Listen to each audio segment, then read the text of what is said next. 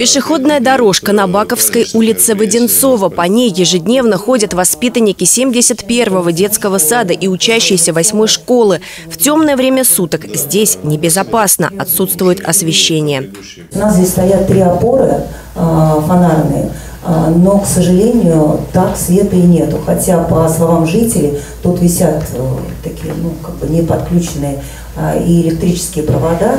То есть, в принципе, э, ну, по их мнению, это не достаточно сильно затратная работа. Это опора не освещение, это опора Мособлэнерго, по которой село каждый проходит. И на эти опоры, если Мособлэнерго разрешит, мы подвесим там три светильника, четыре, в принципе, будет снят. Освещение пешеходной дорожки на Баковской улице и раньше пытались включить в программу «Светлый город», но региональное министерство благоустройства отказывало в субсидировании. Глава округа поручил решить проблему в кратчайшие сроки, выразив готовность обсудить возможность установки светильников с Мособлэнерго.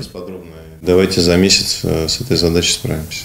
Потому что темнеет, потому что скоро зима, дети пойдут уже. Уже в 5 часов будет э, темно. У нас э, вот этот месяц осени еще есть на то, чтобы справиться с этой задачей, проблемой. Также на еженедельном совещании была затронута тема безопасности газового оборудования. Я призываю всех быть предельно внимательными к газовому оборудованию, особенно вот в этот период когда еще не включили отопление в домах, но уже прохладно в э, квартирах, многие как раз достают э, эти бытовые приборы, включают газ, газовые баллоны, и что зачастую приводит вот к таким э, трагедиям.